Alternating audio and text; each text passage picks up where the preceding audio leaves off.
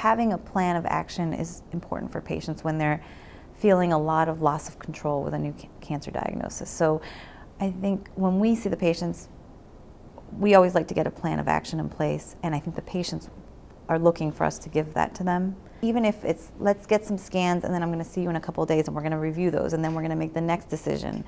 And then, but at least to have a plan in place and know that I'm going to be there through every step to help get them through it, you know. And I think that's very important and also giving them the time so they don't feel rushed. I mean, I often feel no matter how much time I have slotted to spend with patients in the office, it's never enough.